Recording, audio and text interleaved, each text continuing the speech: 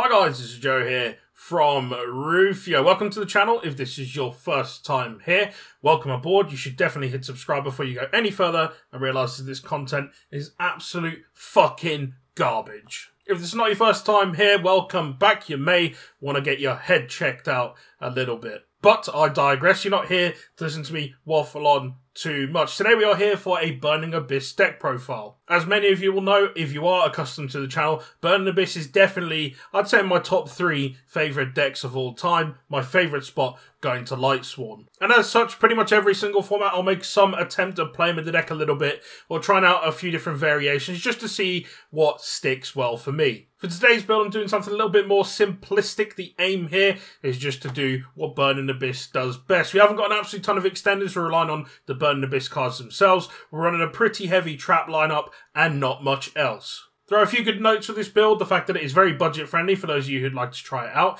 It's a really good way to learn how to be resourceful with the deck as well. And on top of this, it's extremely flexible, which means you can adjust the builds however the fuck you like for yourself. Before we go any further, if you are looking to pick up singles after this, you should check out the channel sponsors over at Jam Jam Cards UK. They don't just have Yu-Gi-Oh cards, they have Pokemon singles too. And if you want to net yourself a cheeky discount, use my link in the description. But again, that's enough waffling on from me. Let's get stuck in to the deck profile.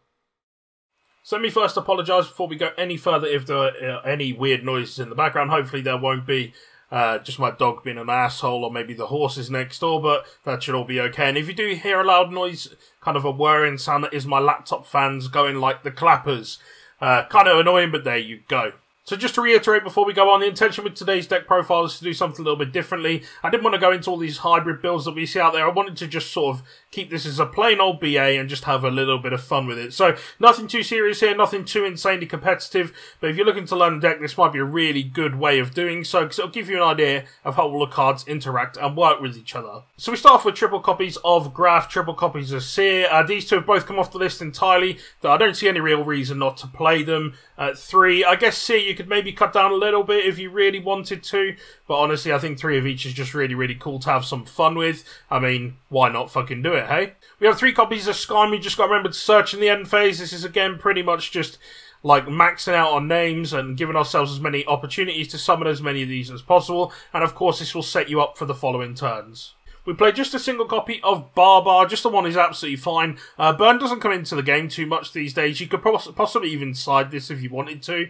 Um, but in truth, this is basically there just as an additional name. There are some other BAs you could play if you just wanted extra names and extenders, so you can keep resolving those special summon effects. But honestly, I think just the one Barbar is absolutely fine. We have a single copy of Calcab again, another one that just doesn't come up all that often, so we're just playing the one copy, I think just as an additional name, and it does have a little bit of utility, so we can use that toolbox-like effect, but honestly, it's not coming up too often, so one is absolutely more than enough. I settled on two copies of Libic here. I did potentially look at messing around with between one and three as well. Uh, one just definitely didn't feel like enough. It just felt like an additional name at that stage. And the effect to pull stuff out your hand does come up quite often, actually. So I think two copies of this works really well. Again, you don't want to clog in it like any of the other BAs. The other ones that were running at three, though, you have the maximum utility out of, so are worth that risk of bricking on. Uh, but I don't feel like Libic is one of those cards. You have two copies of Alich, which is pretty cool for being able to target and negate effects. The downside to this is the fact that it targets, and in the modern game, there's a lot of stuff that stops that, so you don't get quite as much utility out of this as you did before, but it does come up occasionally, uh, and I think the two copies again is really nice for this card. And we round off our actual BA cards here with Farfa. Triple copies of that. Of course, being able to banish a card is really, really nice. The downside, again, is that it targets, but it is a really, really strong bit of equipment to have access to in this deck. Again, it's mostly there just as an additional name, but in terms of utility, it's certainly one of the better options that you could pick.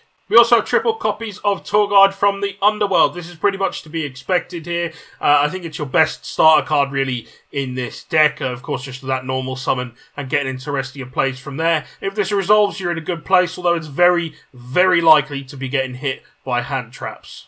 And then our honorary Burning Abyss card here, Fiendish Rhino Warrior. We've got just the two copies in here. I wanted to try and keep this trim and tight. And going up to the three, I just didn't feel was necessary. Two is absolutely fine. Again, this is just mostly there for thinning out your deck. But also the fact that it can help you keep BAs on board so you can link climb a little bit easier. The effect, of course, of preventing them from popping themselves does come up an awful lot. Then we move on to our hand traps. We have triple copies of Ash Blossom and Joyous Spring. Uh, definitely the most diverse of the hand traps. It certainly hits almost every single deck in at least least some capacity. Of course, it depends on what the deck is that you're playing against as to whether that's very useful or not, but it is certainly the best option that you've got out there. And then we've got triple copies of Ghost Belle, particularly strong at the moment in this format. Again, you could run some other options in here. This is a little bit of a flex spot, but I really favour Ghost Belle at the moment for the meta matchups. We have triple copies of Forbidden Droplet. It's an incredibly strong card, and the fact that you'll be able to trigger your BA effects off of it is just awesome as well. In keeping with the fact that this is effectively a pure BA deck profile, we're running triple copies of Fire Lake. I've also got two copies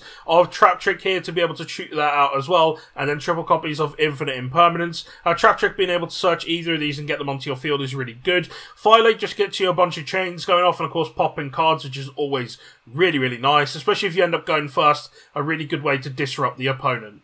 And then again, as mentioned, two copies of Trap Trick again because I wanted to keep this build trim. Uh, you could omit these for something else if you really wanted to. And then triple copies of Infinite Impermanence to make up our final hand trap and our final set of traps. I really wanted to find some space in here for Imperial Order because we're running such few spell cards, but unfortunately I didn't want something that would just sit on the field and prevent me from being able to special some of my BAs from hand. I felt like that there was too much of a negative impact in terms of what the deck is trying to do, although you could consider running it if that is something you're looking to do. We then move on to the extra deck. We are omitting the side deck as always with these things because it really depends on what kind of format you're playing in, uh, what kind of level of game you're playing at. If you're playing uh, just a little bit online, then that's absolutely fine. If you're playing at your locals, you want to build to what you're playing against there. And of course, when actual events are back, if you're playing at those, you'll want to tweak for that. So we haven't included a side deck here. There are plenty of options though that you could consider. Uh, it's a really flexible deck in terms of what you can add to the side. So starting off with a single copy of Grape Dante. Uh, again, if your opponent is stupid enough to out your Beatrice, normally they are not, so a lot of the time you're not going to actually end up summoning this, but we do have the space for it in here, and it does feel nice when you actually get him out onto the field. A really powerful card once he's there, really stubborn for your opponent to have to deal with, but again, he doesn't come out all that often. Just a single sad, lonely copy of Beatrice. Unfortunately, still at one. Hopefully, Konami will let it off the list pretty soon. Um, but one is the maximum we can run, so that is exactly what we're running. This is one of your best bits of interruption on your opponent's turn, and it's super easy to tutor out in this deck, of course. We then have triple copies of Dante. Again, you could run this down at two if you wanted to create some space in the extra deck. I felt that being pure BA, though, would be really, really cool to max out on these. But again, you can look at some other alternatives if you wanted to just run the couple of copies of these. We've got Gossip Shadow in here. This was a bit of a flex spot. There were a few different options I was looking at, stuff like Grand Pulse and things like that. But honestly, I felt like Gossip Shadow is a really cool addition, especially for the fact that it can be paired with Zeus to get him a whole bunch of extra materials on as well. Of course, he's also really easy to make given that the deck is like 99% level 3s anyway, so he's super, super easy to get out there, and of course with as many materials as possible. And as recently alluded to, we have Zeus here. This is just an incredibly strong card. If you don't have access to this, there are a hell of a lot of other utility options you can look at. But again, if you can put this in, absolutely do so. Just a single copy of Cherubini. This again could easily be upped. You could potentially take out like a Dante for another one of these if you really wanted to. This is one of the kind of cards that you're going to go into in setting up your first turn boards. So really good option to consider. We have just a single copy of IP Masquerena. This is for when you go first. Of course, setting up that ability to interrupt your opponent during their turn is a really nice thing to be able to do. We've got our utility cards here, Nightmare Phoenix and Nightmare Unicorn. These, of course, are for going off in your opponent's turn, removing back rows, spinning cards, all of that good stuff. Topologic Zerberus is a really good option as well. Some decks are really, really susceptible to having their stuff banished and can really, really fucking hurt them. And this is a good option to look into if you come up against one of those decks. Being able to link into it in your opponent's turn as well with IP Masquerena is a really cool thing to be able to do.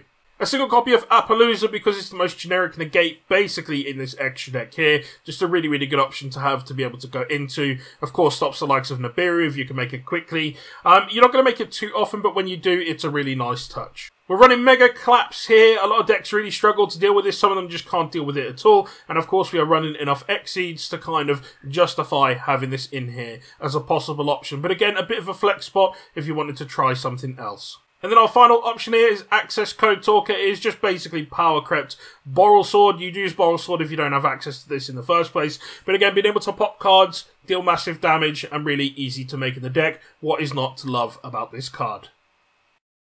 And that is all for today's deck profile. Hopefully this has helped you in some way, shape or form. It's definitely not perfect, but something you can use to build on going forward.